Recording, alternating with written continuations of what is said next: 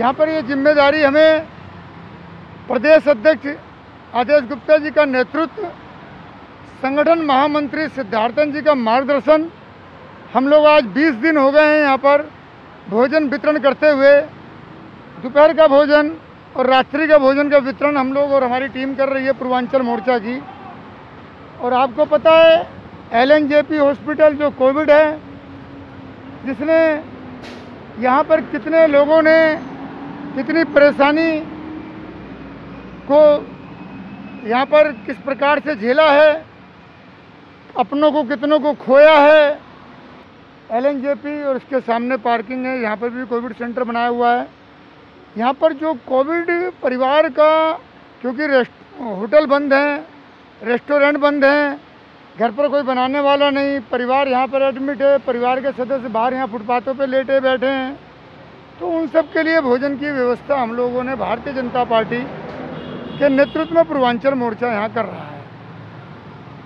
वैसे ये दायित्व बनता था दिल्ली की राज्य सरकार का, लेकिन ऐसा मुख्यमंत्री जिसे कहते हैं कि उसे कोई जनता का, से कोई लेना देना नहीं है, सिर्फ़ तर्क वितर्क करके बातों को पूरा करना, अपनी बातों से यू टर्न मारना उसकी प्रवृत्ति है, लेकिन आज उसकी इसी प्रवृत्ति ने दिल्ली को शमशान बना दिया।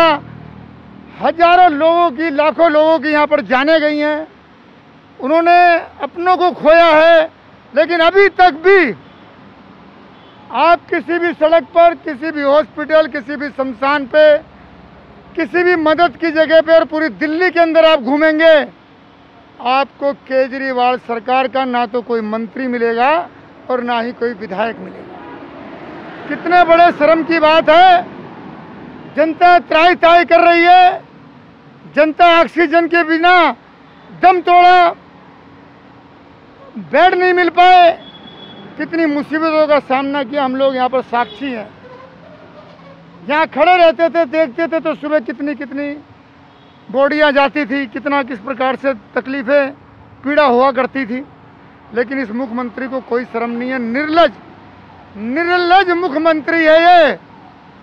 इस व्यक्ति इस व्यक्ति को इतनी शर्म नहीं है कि दिल्ली के अंदर आज लाखों के उसमें लोगों ने किस तरीके से यातनाओं को और अपने जीवन को गंवाया है। कोई शर्म नहीं है इनको। एक हज़ार करोड़ के ऐड किए इसने। अगर उसका 25 परसेंट भी खर्च कर देता तो आज मृत्यु दर बहुत कम होती दिल्ली की। दिल्ली के अंदर, जिस समय ऑक्सीजन की आवश्यकता थी, तब ये पंजाब में ऑक्सीजन बांट रहा था। और वहाँ दवाइयाँ दे रहा था। आप वीडियो की रिकॉर्डिंग के अंदर इनको देखिए, इनके बयान देखिए। जब यहाँ पर ऑक्सीजन दिए, एक प्लांट इसने नहीं लगाया। एक नया हॉस्पिटल कोई नहीं बनाया अपने कार्यकाल में। इस व्यक्ति ने एक वेंटिलेटर तक नहीं खरीदा। बोला, क्या आवश्यकता है? जब इतनी बड़ी विपदा और आपदा पड़ी है तो इसकी मानसिकता ये हो गई कि जो, जिसके भी प्राण या जिसका भी जिनने भी अपनों को खोया, उन्हें पचास हज़ार रुपये दिए जाएँगे। हर चीज़ को इसने बिकाऊ समझ लिया। हर चीज़ को मैं फ्री कर दूँगा। और जनता को जब मर्ज़ी में लुभा के ले लेकिन जनता माफ़ करने वाली नहीं है। रामायण में कहा गया है, निर्मल मन जन मोहि पायो। मोह कपट छल छिद्र न भायो। प्रभु राम ने कहा है, सरल हृदय वाला व्यक्ति ही मुझे प्राप्त कर सकता है, मेरी कृपा को पा सकता है। छल कपट वाले को मैं कभी प्राप्त नहीं होऊँगा और ना ही कभी माफ़ करूँगा। तो ना प्रभु राम माफ़ करते ऐसी प्रवृत्ति के लोगों को और ना अब दिल्ली की जनता माफ़ करेगी।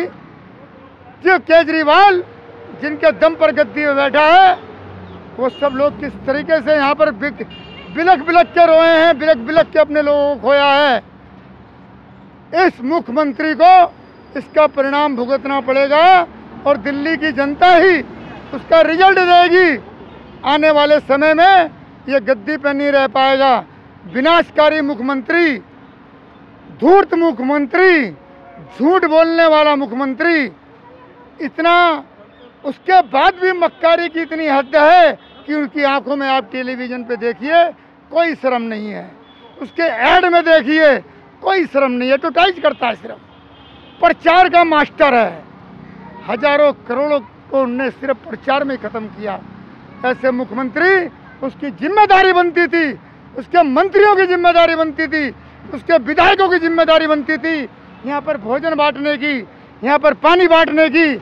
लेकिन वो सात तालों में आराम से विश्राम कर रहे हैं। अपने बच्चों को विदेश भेज दिया है कि सब सुरक्षित रहें। और आम जनता तड़प रही है तो तड़पती रहे और मर रही तो मरती रहे।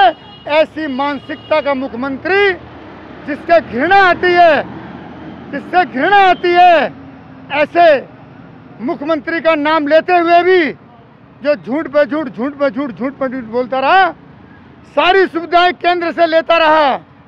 राशन केंद्र से मुफ़्त बढ़ रहा है। अपनी तरफ़ से उसकी कोई योजना नहीं है। केंद्र के कार्यों को अपना कार्य बताकर दुकान चलाता है।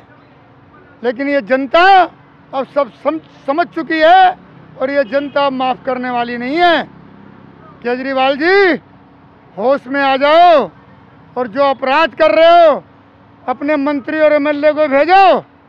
कोविड परिवारों की मदद करके उनकी सेवा करके अपने पापों को कम कर लें। ना तो प्रभु भी नहीं माफ़ करेंगे और दिल्ली की जनता भी माफ़ नहीं करेगी।